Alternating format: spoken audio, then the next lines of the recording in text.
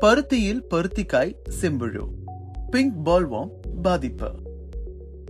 பருத்திக்காய் செம்புழு பாதிப்பு பருத்தி வகைகளை பீடிக்கும் பிரபலமான பூச்சியாகும்.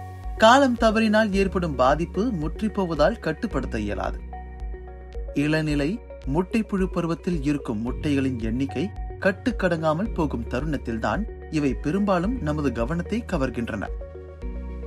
பருத்தி பயிர் நாசமடையாமலும் பெரும் நஷ்டம் ஏற்படாமலும் தடுக்க ஒருங்கிணைந்த பூச்சி மேலாண்மை திட்டங்களை அமல்படுத்துவது அவசியமாகும். பருத்திக்காய் செம்புழுவின் முட்டை புழுவின் நிறம் காலப்போக்கில் வேறுபடுகிறது. இளம் பருவத்தில் முட்டை புழு வெண்மையாகவும் காலப்போக்கில் அவை கருப்பு பழுப்பு பச்சை மற்றும் இறுதியில் வெளிர் இளஞ்சிவப்பாக மாறும். பொதுவாக அதன் முழு நீளத்திலும் கருப்பு அல்லது வெளிர் நிறப்பட்டைகள் மாறி மாறி காணப்படும். முதிர்ந்த முட்டைகள் சிறு வீட்டில் பூச்சிகளாக மாறும். அதன் முன் சிறகுகள் சில கரும்புள்ளிகளுடன் பழுப்பு அல்லது இளமஞ்சள் அல்லது ஆலிவ் சாம்பல் நிறம் கொண்டதாக காணப்படும். பின் சிறகுகளின் விளிம்புகள் ஆழமாக இருக்கும். பயிர் செய்த அறிகுறியானது ரோஜா இதழ் போன்ற அமைப்புடன் கூடிய மலர்கள் காய்களில் துளைகள் துளையிட்ட பகுதிகளில் பூச்சியின் மலப்போக்கு அறிகுறிகள் சேதமடைந்த விதையின் பந்துகளை திறந்து பார்த்தால் சேதமடைந்த மண்டை ஓடு போன்ற வெளிப்புற கவச ஓட்டை கர்னல் பார்க்கலாம்.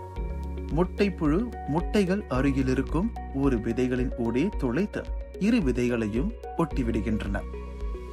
சேதமடைந்த மொட்டுக்களும் முதிர்வடையா பந்துகளும் உதிர்ந்து விடுகின்றன. ஒருங்கிணைந்த பயிர் கட்டுப்பாடு நிர்வாகத்திற்காக பயிரின் எல்லை ஓர பகுதிகளிலும் நீர் வாய்க்கால் பாத்திகளில் ஓரங்களிலும் ஆமணுக்கு பயிர் செய்ய வேண்டும்.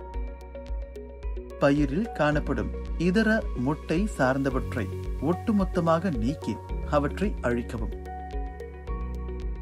தூரத்திலிருந்தே எளிதாக தென்படும் ஆரம்பகால முட்டைப்புழு தொற்று குவியல்களை கொத்துக்களை உடனுக்குடன் அப்புறப்படுத்தி அழிக்கவும். உதிர்ந்த பொருட்களை சேகரித்து உடனே அழிக்கவும். வளர்ச்சி பெற்ற கம்பளி பூச்சிகள் போன்றவற்றை உடனுக்குடன் கைப்பட அகற்றி அழித்து விடுங்கள். ஒளி பொறிகளை பயன்படுத்தி முதிர்ந்த வீட்டில் அல்லது ஹத்தி பூச்சிகளை கண்காணித்து அவற்றை ஈர்த்து பொறிகளில் அடைத்து அழித்து விடவும். ஒரு ஹெக்டேருக்கு பன்னிரண்டு என்ற அளவில் பாலியல் ஃபெர்மன் பொறிகளை அமைத்து பூச்சிகளை கண்காணிக்க பயன்படுத்தவும். தேவைப்பட்டால் பூச்சி தொந்தரவின் உச்ச கட்டங்களில் பூச்சிக்கொல்லிகளை ஒத்திசைவுடன் பயன்படுத்தி அவற்றை அழிக்கவும் செய்யலாம்.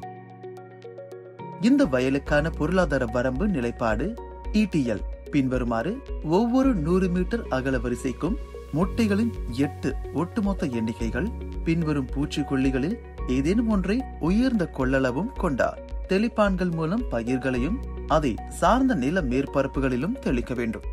ஒரு ஹெக்டேர் பரப்பளவிற்கு குளோரோட்ரானிலிப்ரோல் பதினெட்டு புள்ளி ஐந்து சதவிகிதம் எஸ்சி நூற்றி ஐம்பது மில்லி அல்லது டிஃப்ளூ பென்சோன் இருபத்தி ஐந்து சதவிகிதம் டபிள்யூ பி முன்னூறு முதல் முன்னூற்றி ஐம்பது கிராம் அதனால் விவசாயிகளே சிறிது முன் எச்சரிக்கையுடன் செயல்பட்டால் நீண்ட காலத்திற்கு உத்தரவாதத்துடன் பயனடையலாம். இது போன்ற மேலும் தகவலுக்கு எங்கள் கிரிஷ் இ அறிவியல் தொடரை தொடருங்கள்.